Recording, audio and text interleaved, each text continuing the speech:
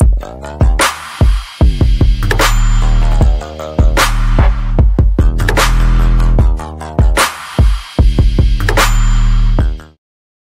up mga guys? Morang here. Ah, dito ako ngayon sa Rusi Tanay. Dinala ko si ano, si aking Rusi Rango kasi papapal clearance ko. Tingnan ko kung ano kasi karoon na siya ng konting lagitik sa ibabaw. Baka yung aking valve clearance eh medyo ano na. Medyo mat angat na kaya medyo maingay. So, eh, si Boss J yung head mechanic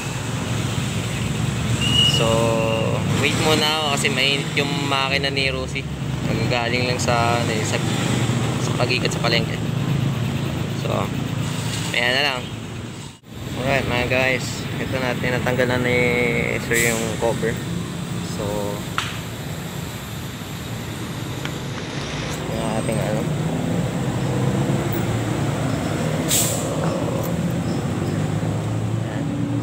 niya yung cover.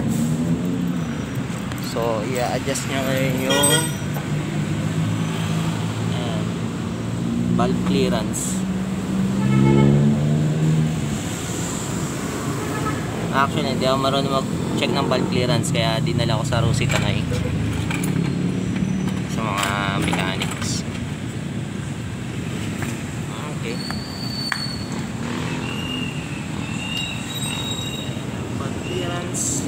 Wala kung okay pa yung bag clearance niya. So, yun yung cover.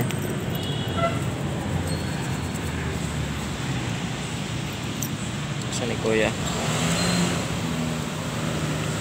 So,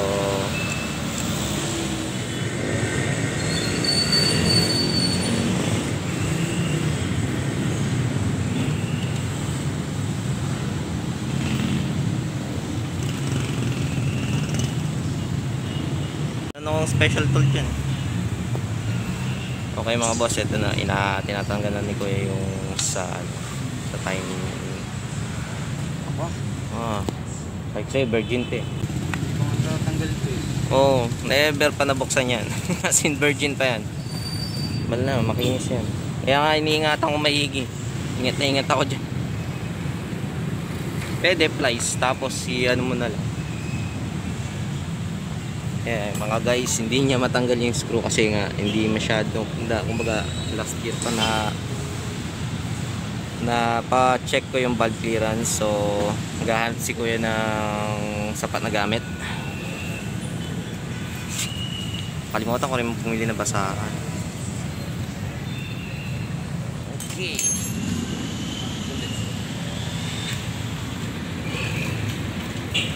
Ayan, si Boss J siya mag-check ng valve clearance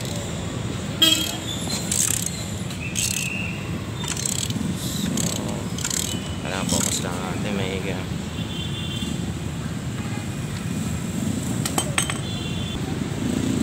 Pakot ka eh.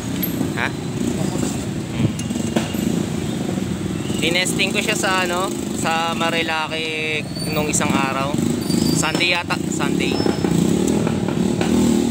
tapos nagtaka ako bila na lang ano yung parang ano yung nag-short yung power niya Wala, wala na itakbuhan eh.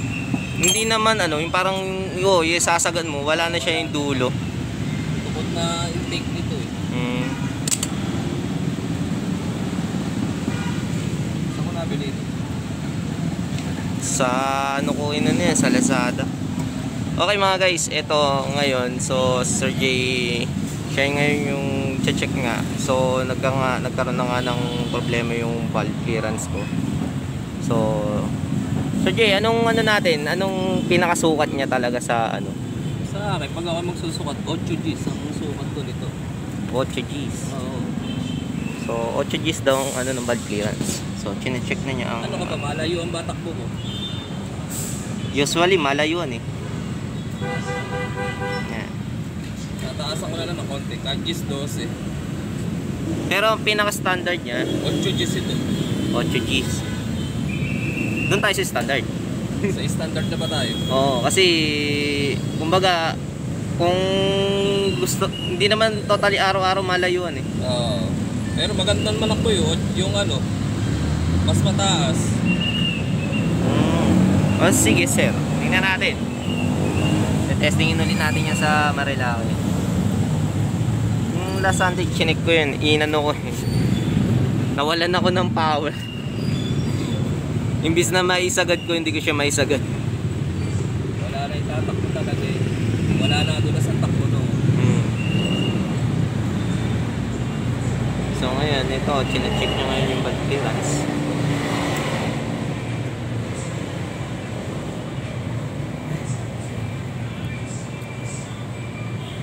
Ganun lang, tamang paglagay ng bad clearance ng pillar gauge. Ah, tamang angle.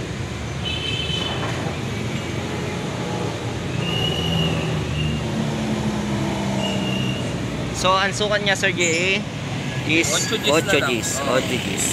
So, 8 Gs ang sa intake. Ah, ang intake is 8. 0.08 ang intake niya. At itong Jeez. Gs naman dito sa exhaust.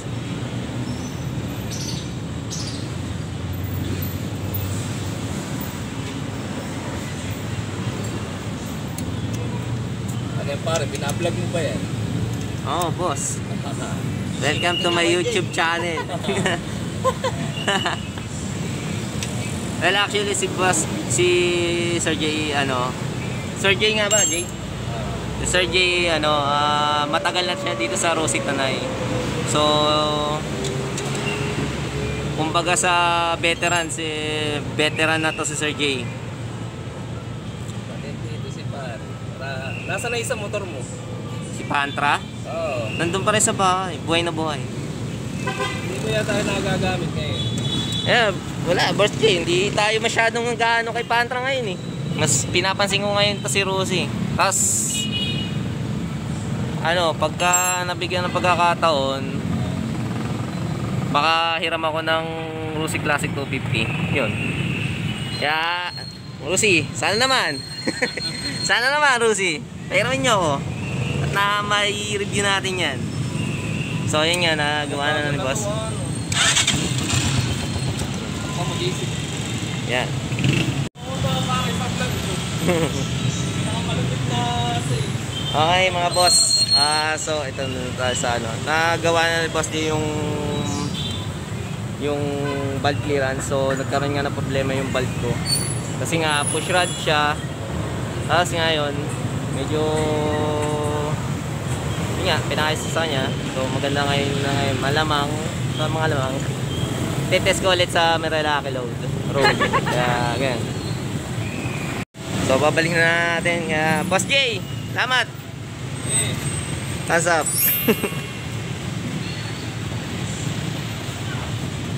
so, babalik na ni boss yung lahat ng ng parts. Clean parts. Sa mga nagtatanong, nandito nga pala ako sa ano, ah, Rusi Tanay kasi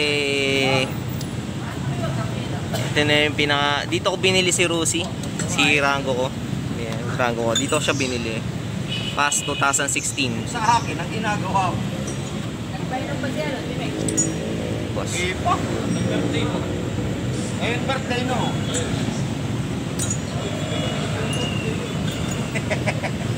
Ganda yung ano niya. Ganda pala ng itsura na ito.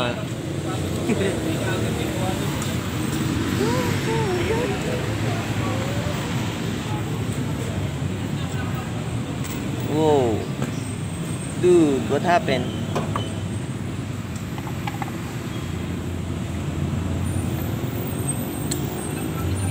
Susunod, dadaling ko na lang yung aking ano, special tool dito. Pagka papaano ko ulit. Kasi malapad yun eh. Malapad pa sa flats. Talagang pang para dito. Kalimutan ko siyang dalhin. So, yun nga. Na, nilalagay na lahat. So, dyan nagtatapos ang ating vlog. So, this is Morang. Peace.